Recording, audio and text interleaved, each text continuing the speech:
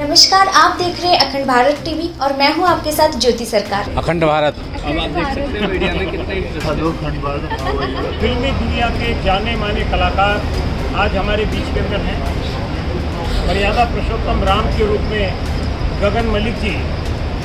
और गगन मलिक जी जी TV serial की रामायण के अंदर भी राम का किरदार निभा चुके लक्ष्मण के रूप में शशांक अरोड़ा जी। निशांक अरोड़ा जी। और हनुमान जी के रूप के अंदर निर्भय जी। और माता सीता के रूप के अंदर आप देख रहे हैं, कविता जोशी जी, आप हरियाणवी फ़िल्मों की सुपरस्टार हैं और 250 से ज़्यादा फ़िल्मों के अंदर काम करने वाले बाहुबली, रावण हमारे बीच के अंदर हैं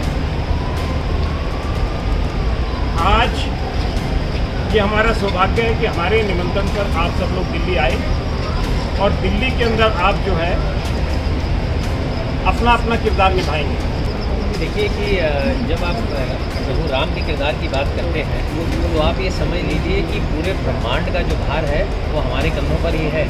क्योंकि लोग जब ये इधर गगन मलिक को देखने नहीं आते, वो प्रभु राम को देखने आते तो लोगों की आस्था, उनका विश्वास, वहाँ पर उस किरदार के ऊपर होता है जिसे वो यहाँ पर देखने आते हैं तो जिसके लिए हमें बड़ी बड़ी तैयारी करनी पड़ती है। और जैसा कि आप जानते हैं, इसमें कोई टेक तो होगा नहीं, क्योंकि लाइव है तो उसकी पूरी तैयारी करनी पड़ती है। और मुझे ऐसा लगता है कि रिस्पॉन्सिबिलिटी के साथ साथ ये बहुत बड़े सौभाग्य की भी बात है कि हम कहीं ना कहीं प्रभु श्री राम के लिए माध्यम बने हैं कि उन, हमारे माध्यम से उनके जो संस्कार हैं, वो रामायण के जो दिए हुए संस्कार हैं, वो आप सब, वो लोगों तक पहुँच जाएँ। ये ये आज की तारीख में हम सभी लोग भूल रहे हैं कि हिंदुओं के जीवन का आधार रामायण है। रामायण और रामलीला जहाँ पूरी कहानी आप, आपको देखने को मिलती है उसमें सारे रिश्ते किस तरह से निभाए जाते हैं उनकी सही परिभाषा क्या है चाहे वो भाई भाई का रिश्ता हो माता पुत्र का रिश्ता हो एक भक्त और भगवान का रिश्ता हो या कोई भी जिस रिश्ते का आप नाम देते हैं वो सारे रिश्ते की सही परिभाषा आपको रामलीला में दिखेगी। जैसा अभी अर्जुन सर ने कहा कि इस चीज़ की आज की जनता को सबसे ज़्यादा ज़रूरत है इसलिए हम चाहते हैं कि आपकी तरफ़ से संदेश लोगों तक पहुँचे और वो इस बार अपने बच्चों को साथ लेके आए क्योंकि वो भविष्य है। वो भी जान पाए कि असली रामलीला की कहानी क्या है और धर्म की सही परिभाषा क्या है? तो उसके लिए हम बड़ी कड़ी तैयारी के साथ आपके सामने खड़े हैं। बहुत बड़ा आ, काम किया है अर्जुन सर ने। काफ़ी भव्य जो इससे मैं कहता हूँ तैयारियाँ हैं और हम उम्मीद करते हैं कि इसको जस्टिस के साथ हम कर पाएँगे। माता सीता मैम है? नहीं माता सीता बहुत अच्छा लग।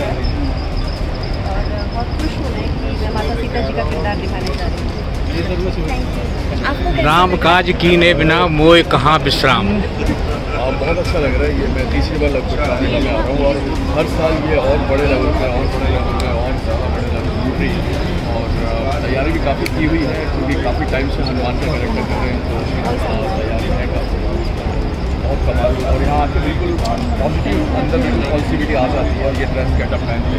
तो दिल को भी अच्छा लग लाइन आपको हाँ मेरे मेरे है जय सिया राम राम काज कीने बिना राम। काज कीने बिना मोय कहाँ विश्राम डायलॉग बता दीजिए हे खग हे मधुकर सैनी तुम देखी सीता आपको सारी चीज़ें कंठस्थ हैं। हम लोग जो है कविता रूप में ना करते हुए एक डायलॉग के रूप में। लोगों के सामने लेकर आते हैं जिसमें माता सीता को मैं रोकता हूँ कि जब ये मेरे साथ वनवास जाने की जिद करती है तो उन्हें मैं समझाता हूँ कि तुम मेरे साथ मन में नहीं जा सकते। अगर तुम मेरे साथ मन में जाओ तो घर पे माताओं का ख्याल कौन रखेगा? पिताजी का ध्यान कौन रखेगा? और वहाँ पर भयंकर जानवर है। और खाने को भी फल फूल ही है और उससे ज़्यादा तुम्हें कुछ नहीं मिलेगा। मैं चाहता हूँ कि तुम यहीं रहो और माता पिता की सेवा करो। सर एक्सपीरियंस शेयर कीजिए। सर, एक्सपीरियंस मेरा एक मैं बहुत सौभाग्य मानता हूँ। कि मैं दिल्ली में हूँ और दिल्ली में मैं परफॉर्म कर रहा हूँ। और इतने बड़े स्टेज पे वो भी लाइव तो आई थिंक ये अपने आप में एक बहुत बड़ी बात है। डायलॉग डायलॉग देखो हम रिहर्सल कर रहे हैं। एक चीज़ मैं जो ये कहना चाहूँगा आपके माध्यम से कि जैसे लक्ष्मण जी का किरदार जो लक्ष्मण जी जैसे थे कि वो बहुत गुस्से में रहते थे हमेशा।